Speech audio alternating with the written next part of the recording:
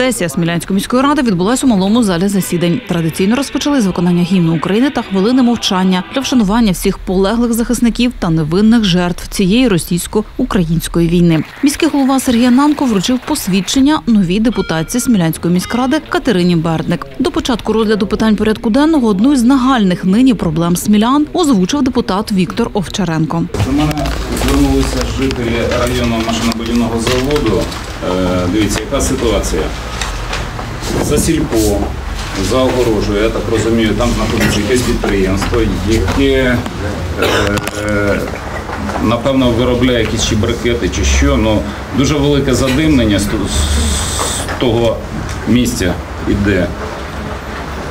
І я просив би, щоб можливо наша екологія звернула на це увагу. І загалом у нас вже наступає ось, ну наступила осінь, вже наступають ті часи, коли будуть палити листя, щоб ми активізувалися в цьому направленні.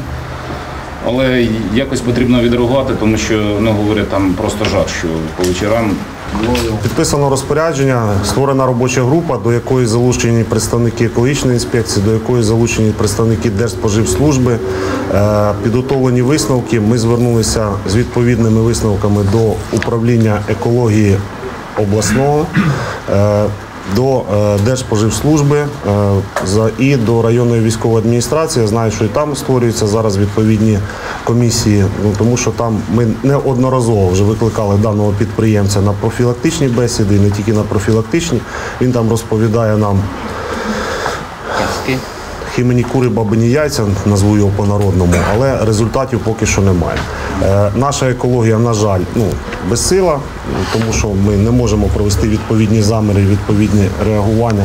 Тому ми звернулися вже до відповідних обласних інстанцій для того, щоб відреагували обласні інстанції. А з приводу е, паління листя підтримую 100%. Е, Богдан Валерійович є. Богдан Валерійович, да, будь ласка, план.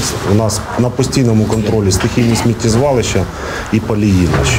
В порядку денному велика кількість питань стосувалась виділення одноразових матеріальних допомог. Двічі депутати пропонували в конкретних випадках збільшити розмір виділених коштів із міського бюджету смілянам, адже у цих людей дійсно склалися досить проблемні ситуації. Даний громадянин на початку ще війни пішов в 118-ту бригаду, потім перевівся в 111-ту добровольців, отримав е, поранення, у нього там е, контузія серця, пошкодження хребта в районі е, грудей.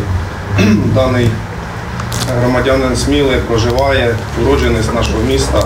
Е, На даний момент е, отримав е, ступінь другу інвалідності, 80% непрацездатності. Я просив би суму допомоги максимально збільшити. Просто звертаюсь до всіх, ну до кожного з нас відверто звертаються люди про надання матеріальної допомоги.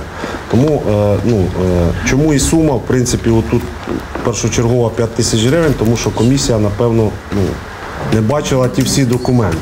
Тому я прошу е, людям роз'яснення давати, що якщо є По максимуму. ну, і відповідний перелік документів, то тоді ну, не буде от таких депутатських запитів звернень. Я думаю, комісія ну, самостійно розгляне і надасть ту суму коштів, яку необхідно потребує людина.